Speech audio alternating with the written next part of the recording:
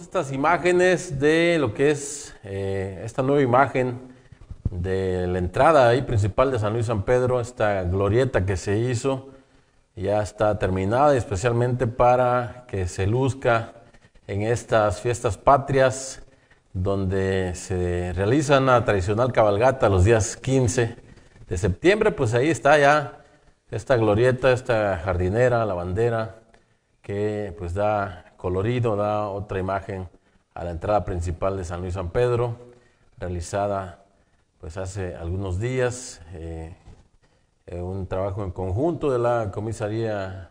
municipal y demás personas que eh, pues quieren ver eh,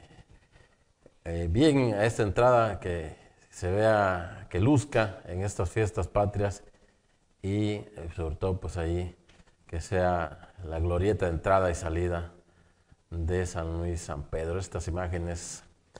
que tenemos del día de hoy.